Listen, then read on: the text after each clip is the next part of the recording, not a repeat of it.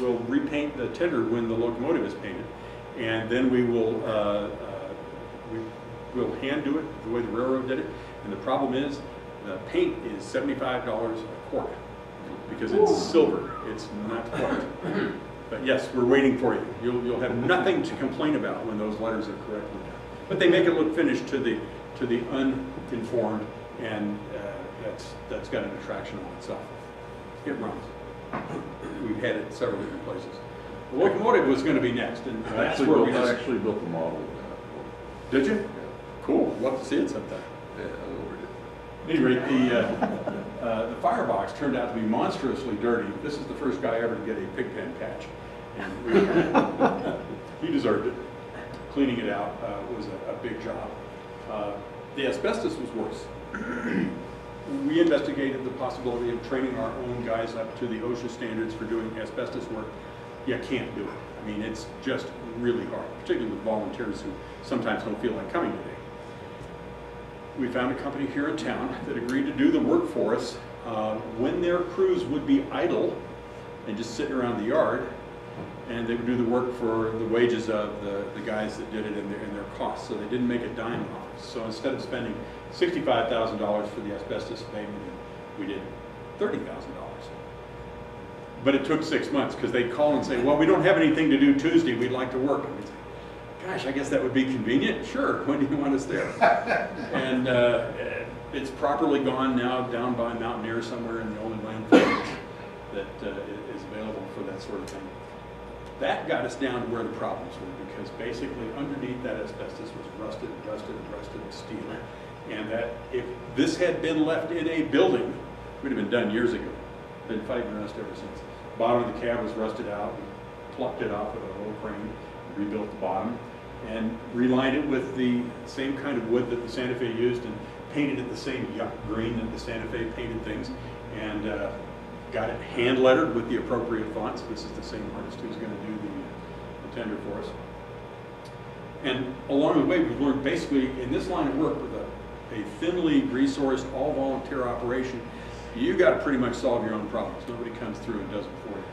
Once again, one of our civil engineers designed the pit, fabricated, so we've got a place to work under the locomotive uh, with good stout track. That there's just way too many things you've got to do underneath the locomotive you can't do laying on your back. Uh, One of the jobs that I was in charge of was the ultrasound, which we'll talk about in several passes here. When you, yes, sir? Michael, how much does the whole locomotive weigh? Um, the way the Santa Fe weighed it was, was with a two-thirds load of fuel and water, and it's a million pounds. At- at. But you have to take their word for it. They were actually uh, forced to pay by union agreements. They had to pay their crews by the weight of the locomotive.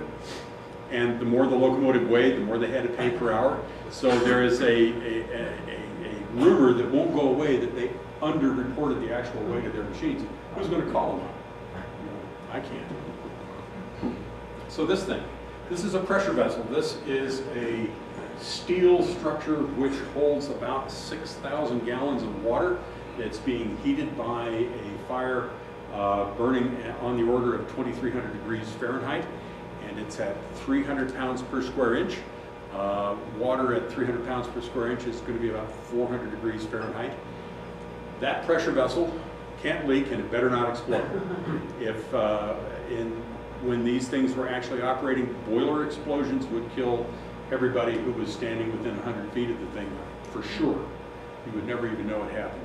Uh, If you come to the site, I'll show you where the boiler would land after an explosion, and it's all the way to 12th Street.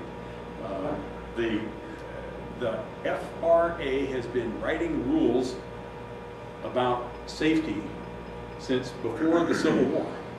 So they had a lot of time to work on them, and they've gotten better and better and better, and they've learned more and more and more the hard way. Uh, and they have, like any good inspector, they're not your friends, they're your inspectors, and they have a purpose which is basically ensuring that this uh, steel structure will not blow up. It, it is your explicit, perfect example, and a failure in corrective action is how this standard was developed. Over and over again. And Over It's and got a lot of and refinements. The, the modern refinement on certifying, uh, making a, you're familiar with the concept of a boiler card.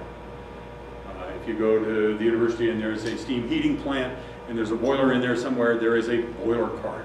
Uh, ASME will tell you what its characteristics have to be to operate at a certain pressure safely, and it needs to be inspected and certified.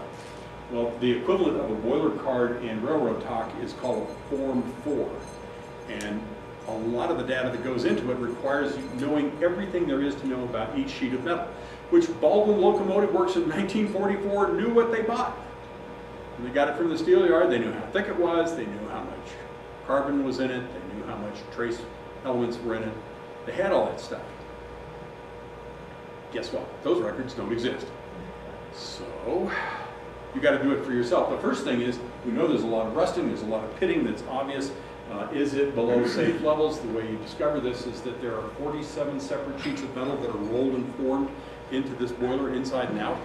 And we wound up making mechanical drawings of them that wouldn't fit on that table very well, of each sheet, taking a grid from that and applying it to the locomotive.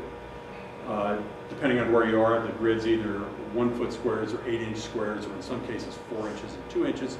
And then you go back with a little flapper wheel and you make a little mirror polish finish on the surface at the intersection, and you apply a little ultrasound gizmo, which is basically like taking candy from a baby from my point of view. Uh, except we had to do it more than 7,000 times and document all of those measurements so that they could be inspected. It also allowed us to find, here's, here's an example of one of the maps, uh, with the, in mils, the uh, thickness written for each intersection, inside and out. Remember, on the inside of the firebox, you're actually looking at the inner hull. Uh, when you're standing outside the locomotive, you're looking at an outer hull. At the bottom, they're about that far apart. When you get to the top, up over the top of the fire, they're more like three feet apart. It's a very interesting geometry. Show you more of that in a minute. Which meant we rapidly tumbled to places that were too thin to hold pressure. They got yellow is bad and red is worse, and that allowed us to establish places that had to be mapped and carefully cut out. Holding those two sheets of metal uh, uh, uh, at, at a fixed distance are a pattern of bolts that are on a little bit less than a four-inch grid. Those bolts are called stay bolts. Uh, some of them are rigid stay bolts and others are flexible. When the, they're flexible, they're sitting in a sleeve with a round head and they're allowed to wiggle a little bit. Wiggling is better than breaking. This locomotive gains one inch in length when it comes to temperature, uh, ready to operate. So cutting out all the stay bolts, by the way, you had to cut them on the inside as well, and then extracting that bad sheet of rusted out metal meant that we were able to wrench out the stay bolts and leave a gaping hole in the side of the boiler, see the inside there, and then go back and fabricate a new piece of steel which had to match the metallurgy of the steel that was removed and chamfer out all the holes. We used a welded stay rod repair technique instead of a threaded stay bolt. It's a, it's a legal boiler repair. It turns out there's two ways to skin the cat. The FRA doesn't care what you do. We thought we'd do the easy one. It turns out it was anything but easy uh, to prepare all these holes and then get the welding done. Now the fascinating thing about the welding to me was um, I gained a ton of respect for the people who can do that kind of work. I'm not a welder. I've become a respecter of welders. Uh, the thing that I saw, this is just for fun, we'll weld for food. Um, they actually are welding free. They'd make 75 bucks an hour if we were paying them. Anybody ever seen a 6G test? What a pain in the ass. They give the guy a slice from a six inch pipe, fixed on a, on a bracket at 45 degrees, you see that cross shape thing. You give him another piece and say, weld them together so that it's one piece of pipe, starting with a, a, a root weld and then working their way up to make a full penetration weld. There's a visual inspection process that's, that's done, and if it passes that, then you take this new single piece of pipe and you cut what they call coupons out of it in four separate places, and you put them in a press and you bend two of them this way and you bend two of them the other way, and any, any of them break, he can't work on your project. He just flunked the 6G test. And you send him back to the union hall and ask for somebody else. Um, the fascinating thing to me is this is like me having to take a board examination to work at every hospital I've ever been to. I mean, I thought taking it once was a royal pain in the ass. I can't imagine taking it in front of every job I've ever done. But our welders had to do 6G tests on site for us.